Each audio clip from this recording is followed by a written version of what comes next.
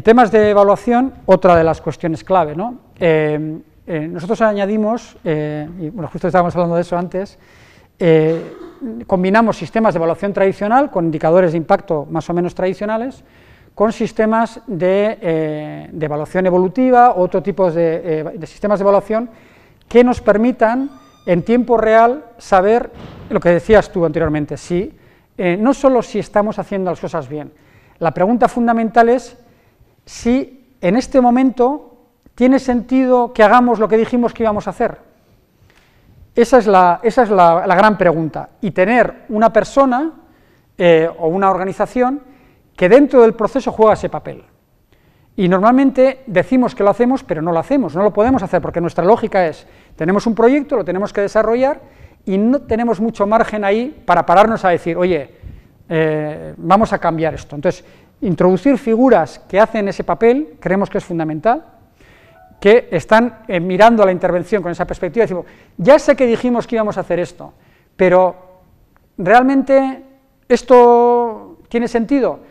para reafirmarnos y decir, pues sí, efectivamente tiene sentido, es decir, mira, igual podemos testar esta otra cuestión. Claro, decirlo es muy fácil, hacerlo es muy cambio, es, muy también, porque tienes una estructura, un proyecto, ¿no? pues como el que estamos trabajando en Perú, en India y en Mozambique, procesos muy, muy complejos, y cómo paras esa maquinaria o cómo la modificas en tiempo real para responder ante un proceso de escucha que te está diciendo, cuidado. En cada caso es diferente y tendremos que pensar ¿no? cómo eh, se establecen esas estrategias. Lo que sí parece muy importante es desarrollar nuevos indicadores, que también lo hemos estado hablando estos días. Eh, tenemos que preguntarnos, y esta es la pregunta que hacíamos en esos días, ¿cuáles son esos indicadores que siempre hemos querido utilizar y que no hemos utilizado hasta ahora? ¿Cuáles son esas cosas que nosotros en el desarrollo de nuestras intervenciones Hemos querido medir y no hemos medido, porque no teníamos tiempo, porque no teníamos recursos, porque no sabíamos cómo se medían. Necesitamos invertir tiempo y esfuerzos en repensar esos indicadores.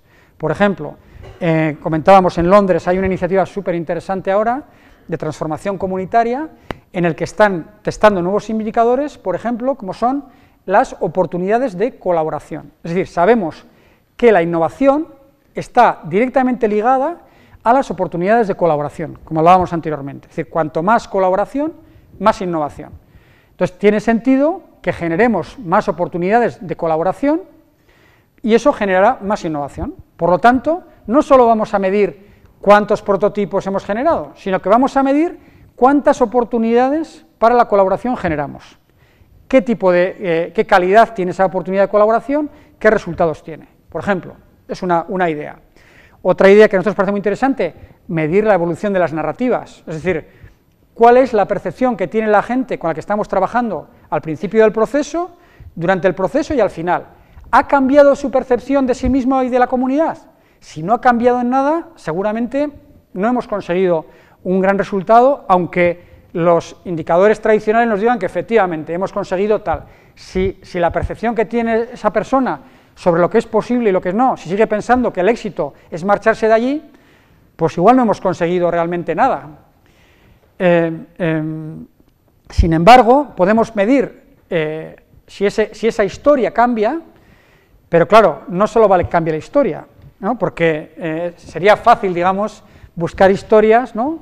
en las que la gente, bueno, como lo ha dicho de forma diferente, pues ya hemos conseguido el objetivo. No, habrá que conseguir también medir cómo la historia va asociada a una acción, ¿Qué tipo de acciones diferentes se están desarrollando?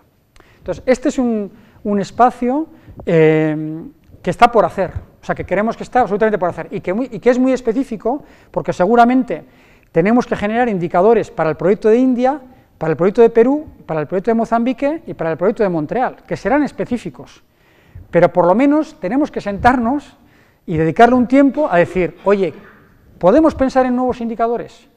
¿Cuáles son esos indicadores? Vamos a tener los indicadores tradicionales, vamos nos, van a pedir, aunque no los queramos, aunque, sepamos que, por ejemplo, generar empleos en Perú y en Mozambique, pues eh, es, un, indicador muy relativo, porque eh, qué tipo de empleo estamos generando, qué calidad del empleo, eh, es decir, sabemos que son indicadores que necesitamos, pero sabemos que son indicadores que nos dan una verdad pues muy relativa,